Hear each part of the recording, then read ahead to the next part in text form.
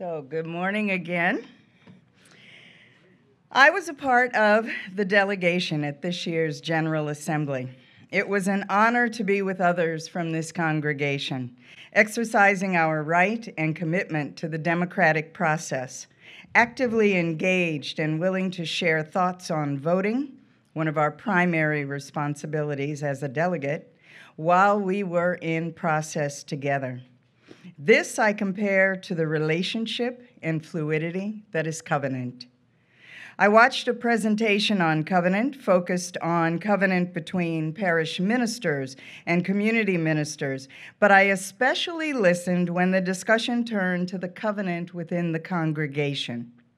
Drawn from the work of Paula Cole Jones, that within our faith we are a community of communities intentional in our inclusion of the many identities that come through our doors, in our agreements with one another, and all of this is a living agreement about relationship with each other, within our community, within this faith, and within the world.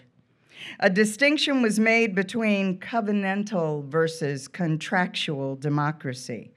Contractual relationships focus on interest. They are transactional, this for that, protecting the benefits of a few, and there is inherent competition.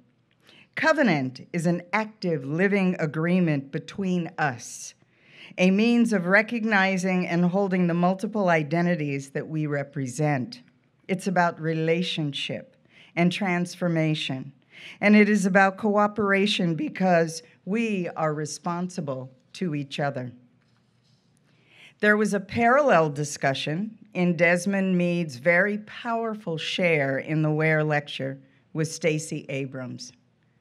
Desmond is an African American man formerly suffering from addiction and the experience of incarceration, who created the group that actively changed the laws in Florida to restore voting rights to people who were returning to society from incarceration.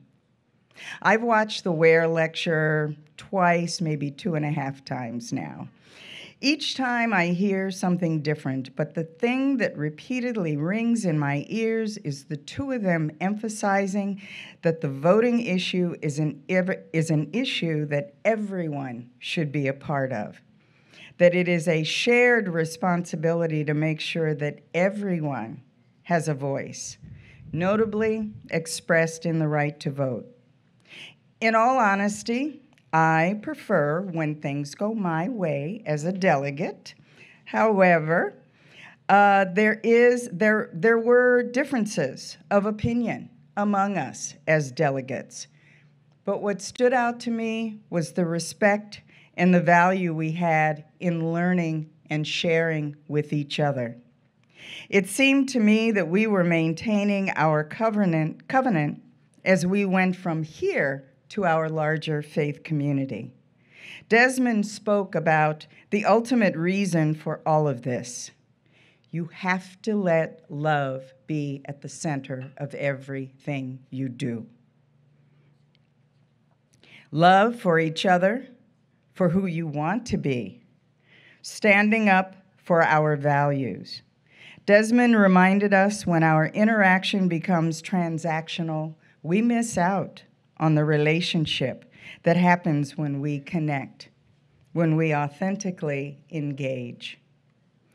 When we are in covenant, we are present and accountable, not just for ourselves, but for each other.